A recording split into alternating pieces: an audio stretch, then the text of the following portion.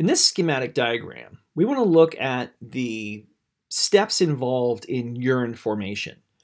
And we're going to look at the filtration of plasma into the nephron, that's this structure in yellow here, it's a tubular structure, uh, and the, the blood flow that supplies it, shown here in red. Now, there are about 1 million nephrons per kidney, so there's quite a few of these, and they're, they're microscopic structures. And we have a very interesting blood supply to the nephron because we have two capillary beds in series. That's known as a portal system. And so we have uh, an arteriole supplying blood flow in to these glomerular capillaries. And at those glomerular capillaries, the bulk flux is going to favor filtration, right? That movement of plasma, essentially plasma minus its proteins, into this nephron. And so we're going to move water, we're going to move electrolytes, we're going to move nutrients and wastes. What we're not going to move across this, this filtration barrier here would be the proteins and the cellular components. The red blood cells, white blood cells, and platelets will pass straight on through. Now, this filtration is massive. It's about 20% of the plasma passing through here. And because of the enormous blood flow to the kidneys, that means we are going to filter in all of the nephrons combined your entire plasma volume about every 20 minutes. What that tells you is that if we were to actually excrete that, we would run out of plasma in 20 minutes, right? It would kill you. And so one of the things that's going to have to happen is we're going to have to save most of what we filtered into this nephron. Now, 80% of the plasma passes straight on through. It exits through this vessel that's called a portal vessel. It's also known as the efferent arteriole. And that's going to break up into this second capillary bed. Well, that's quite adaptive because, as we just mentioned, we need to save a large portion of what we pushed into this nephron structure. And so, we, where do we save it? We got to save it back to the to the circulatory system.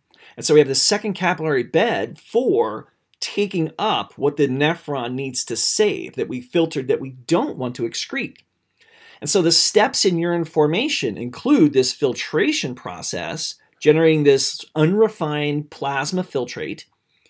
Then the nephron is going to take the substances that we don't want to excrete and put them back into the bloodstream, right? The nephron wall is going to take them and transport them into the interstitium. And then the bulk flux at this second capillary bed, they're called peritubular capillaries because they surround the nephron tubules.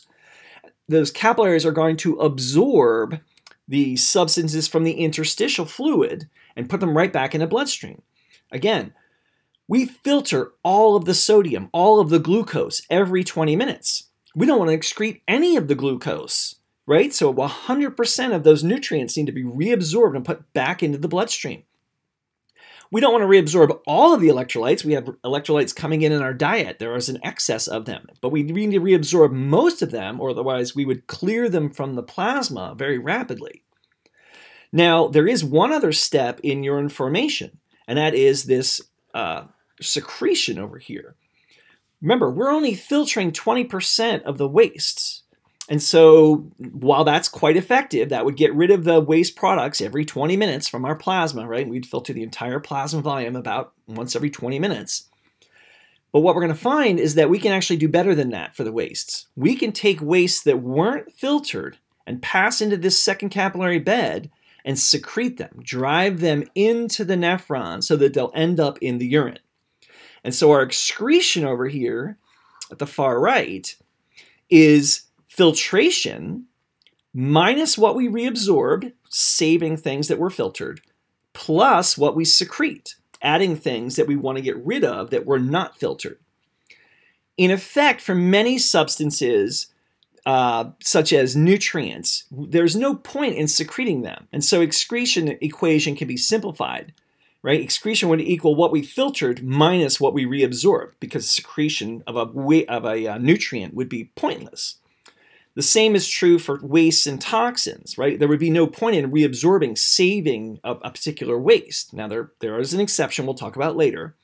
But in that case, excretion would equal what we filtered plus what we add to that filtrate through secretion.